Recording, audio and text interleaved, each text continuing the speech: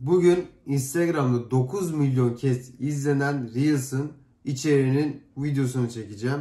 Bu içerik neydi? Bu içerik E-Devlet'te birikmiş paranız olabilir içeriği. İçerik toplam 9 milyon kez izlendi. Milyonlarca paylaşıldı, milyonlarca kaydetmesi var. Peki bu E-Devlet'teki birikmiş para ne oluyor? Aslında bu birikmiş para değil BES yani bireysel emeklilik sistemi oluyor. Genelde birkaç iş değiştiren özel sektörde çalışan kişilerin haber olmadan girdiğiniz şirket size bireysel emeklilik hesabı açıyor. Şöyle kendimden örnek vereyim. Kendim 2 ay bir yerde çalışmıştım özel sektörde.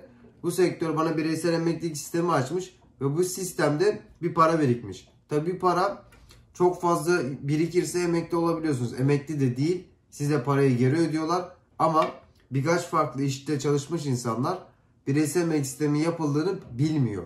Çünkü maaştan kesimde olduğu için siz brüt maaşı görmüyorsunuz.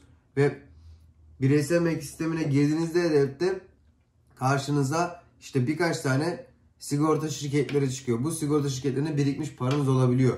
Peki bu parayı nasıl alabiliyorsunuz? Şimdi ben de firmanın ismini vermeyeyim. Bir firma vardı. İçeride birikmiş param vardı. Firmanın mobil uygulamasını indirdim. Mobil uygulamasından giriş yaptım. Çünkü birikmiş param olduğu için hesabım da var orada. Öylece giriş yaptım ve paramı aldım. Ama orada kapanmış bir hesabınız varsa ne yapıyorsunuz? İşte diyelim A firması. A firmasının müşteri hizmetlerini arayabilirsiniz veya mail atabilirsiniz. Bu parayı çekmeniz e, doğru mu? Tabi o size kalmış. Bazı insanlar işte diyor ki ben 5 yıldır biriktiriyorum emekli olacağım falan.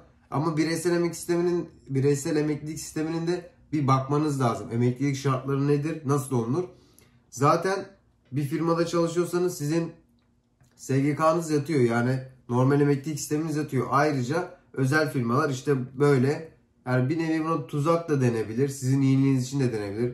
Bu herkes farklı algılıyor. Yani kiminin adam 10 yıldır bir özel sektörde çalışıyor. Mesela çok DM geliyor bana bu konuda. Adam diyor ki kardeşim diyor sağ ol diyor. İçeride diyor 45 bin liram birikmiş.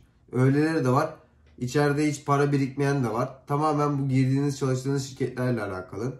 Ve genelde böyle çok fazla iş değiştiriyorsanız işte mesela adam 5 yılda 10 tane şirket değiştirmiş. 10 tane orada sigorta şirketi açıklanmış. Sigorta şirketlerinin hepsi içinde farklı farklı para var.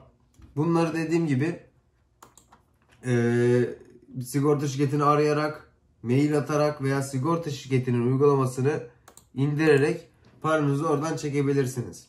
Bu bireysel emeklilik konusu da zaten dediğim gibi devlet size emekli yapıyor. SGK'nız her türlü yatıyor. Bunun tamamen özel firmalar yani tuzak demeyeyim de bir tık yani ona diyecek bir şey yok ama özel işte firmalar öyle sizin adınıza firmayla çalıştığınız firmayla anlaşıp bir nevi sizden brüt maaşınızdan oradan bir kesinti yapıyor. Tabi bu içeriğin ben YouTube, Instagram'a, TikTok'a falan yüklerken bu kadar tutacağını bilmiyordum. İlk önce ben Instagram'a yükledim. İşte bir günde 1 milyon, 2 milyon falan oldu. Şu an 9 milyon falan bir izlenmesi var Instagram'da. Ayrıca çok fazla DM geliyor parayı nasıl çekebiliriz, nasıl çekebiliriz diye. Şimdi bu videoyu da parayı nasıl çekebilirsiniz de YouTube'a yükleyeceğim. Ee, videoyu buraya kadar izlediyseniz videoyu beğenmeyi, like atmayı, abone olmayı da unutmayın. Ve ayrıca bireysel emeklilik sisteminde ne kadar paranız varsa onları da yorumlara yazarsanız başka insanlar da mesela buna inanmayan çok insan var. İşte E-Devlet'te param birikir falan diye şey var. Ama bu böyle bir şey olduğunu bilmeyen çok insan var. Onlara da ilham olursunuz. Onlar da gidip oradan parasını çekebilir.